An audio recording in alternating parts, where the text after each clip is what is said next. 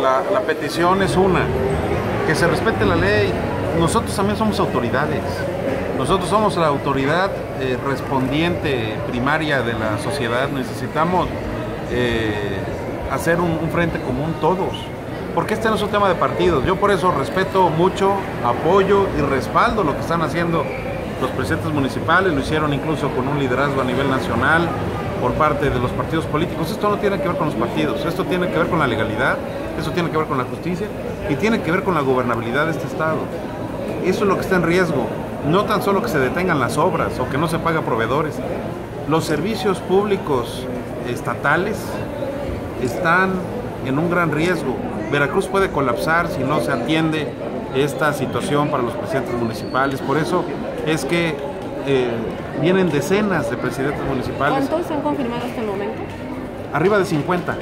Oiga, decían los alcaldes del PAN que este recurso, si no llega antes de diciembre, si no se les deposita y no lo licitan, puede perderse. También en el ayuntamiento de Jalapa hay riesgo de que se pierda recursos.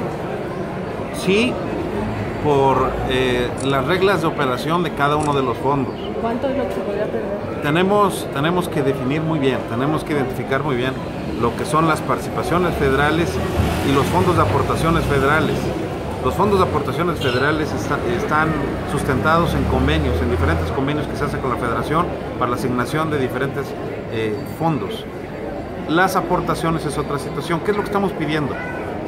Eh, la ley de coordinación fiscal en su artículo sexto señala perfectamente bien cuál es el mecanismo que se puede establecer en el caso de tener eh, tanto una tardanza en el depósito de los recursos a los ayuntamientos en materia de participaciones, pero también qué se puede hacer si no se deposita el dinero.